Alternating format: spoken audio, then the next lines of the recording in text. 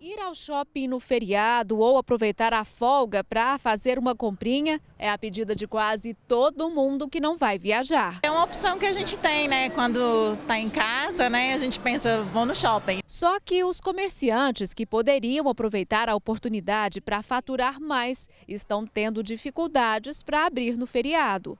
Segundo esse advogado da Associação dos Lojistas de um Shopping de Goiânia, é tudo por conta das exigências dos sindicatos. Eles só autorizam se você pagar a contribuição sindical, se você pagar o benefício social familiar e obrigam praticamente que todos os empregados das lojas que queiram trabalhar no feriado eles têm que ser filiados ao sindicato.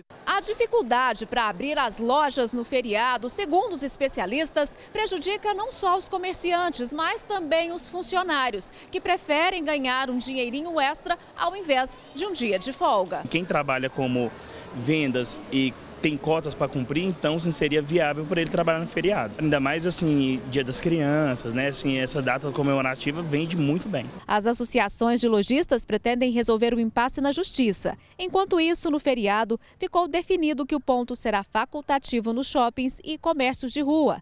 Mas por ser Dia das Crianças, a quarta data comemorativa mais lucrativa, a maioria deve abrir, inclusive as lojas da 44.